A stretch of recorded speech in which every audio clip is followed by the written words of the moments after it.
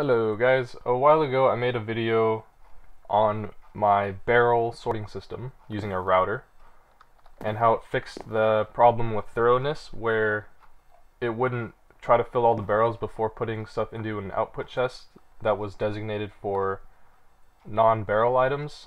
So it was just constantly trying to split all the items between all the possible destinations and like for example if I put a stack of iron in, it would put half of them here and half of them in the in the chest. Well, there's something new called a machine filter. Um, it, it lets you do this, where you can choose the only, so it'll only look at certain machines. So um, that pretty much makes my last design obsolete. All you need for this, see this is where my items come in from the output of my ore processor. So any item any item that I put into here will be handled correctly. Um, this fil this filter is pushing downwards, so if I put uh, some some stacks in there, it'll pull them out, stick them into the bar into the router, and they'll go into the barrel, which is over here. See? Um, I need those torches. Out of torches.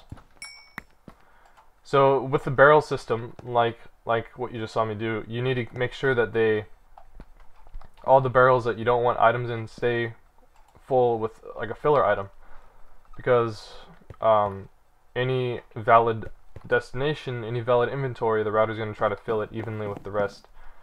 Um, oh yeah, that's some sulfur goo coming from my sulfur goo farm. This this is basically every farm I have in the world. Uh, oh, sorry about that.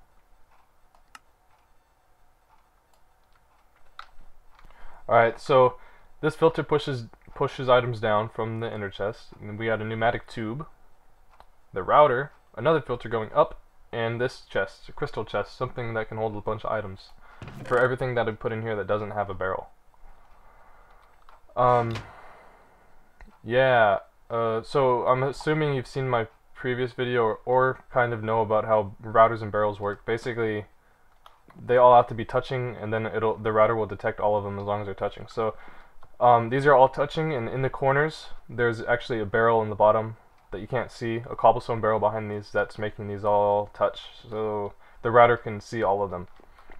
Um, the only upgrades I have, uh, well actually I think I have three. There's a machine filter upgrade and I'll tell you how to make that after I explain this. Yeah, the speed boost, I don't really think speed boost makes a huge difference. It doesn't seem like it. But bandwidth is also really important, so it can move stacks at a time instead of just one item. But the, the main point of this video is this is a machine filter upgrade. Um, that's what makes this so easy. Um, you can actually make a bunch of complex systems using the machine filter upgrade.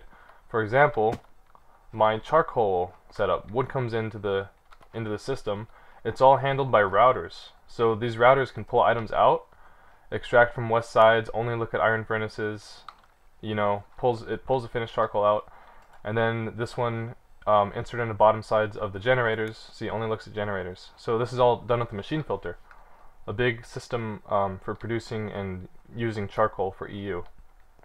Um, so that really opens up a lot I, I almost thought about using these for my my uh, ore processor, using routers with uh, machine filter upgrades. Um, these uh, for the redstone for this thing, you also need redstone to pulse these. Um, let me just show you. It's back here.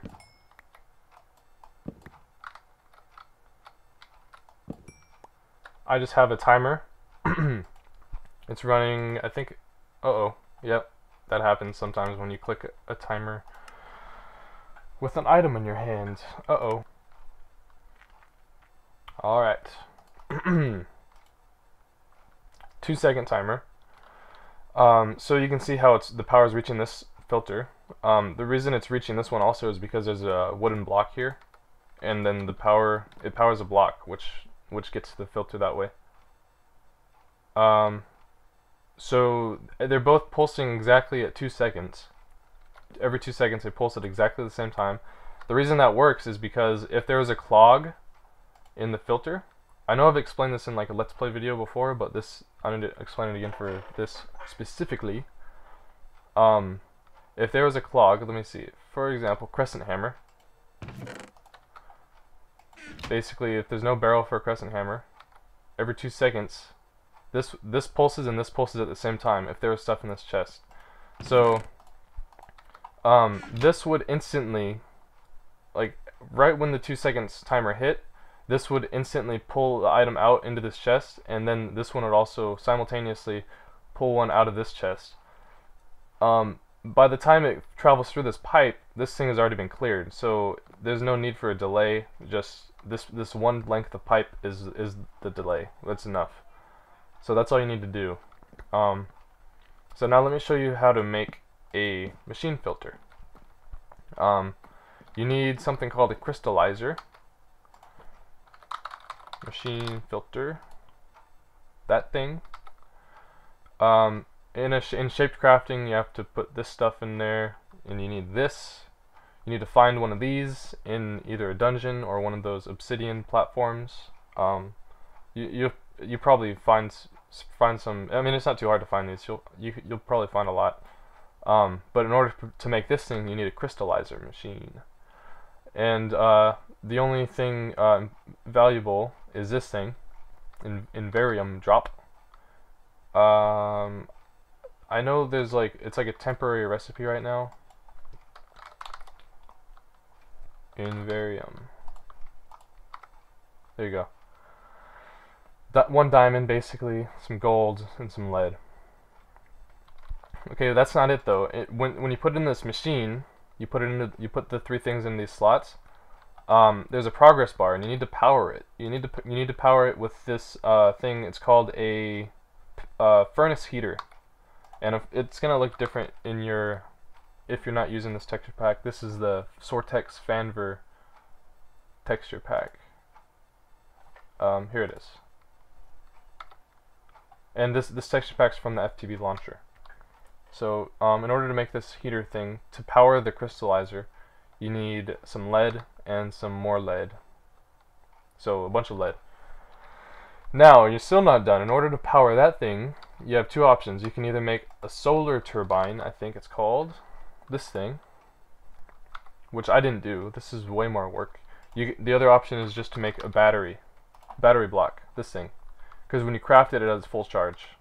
So, some lead and iron and sulfuric acid, not too much work. So, that's what I did. Then you just stick the battery next to the the furnace heater next to the crystallizer and put your three things in and the progress bar will give you the logic matrix thing. That's it. Then you just go ahead and stick it in your in this. Let me see if I can remove it. I don't know how to remove this upgrade. Press delete to remove this upgrade. I'll show you setting it up. So you I guess you shift right click and see this is what you get. So I want to insert there you go. Click it, barrel. You can click it and see the different options.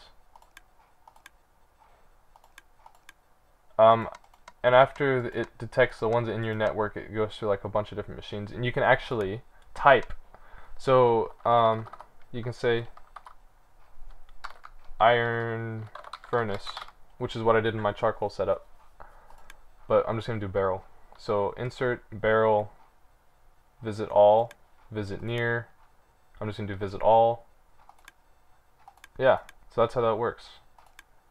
Alright, that's it. So that hopefully that simplifies things for you guys if you're going to use barrels. Um, I will see you next time.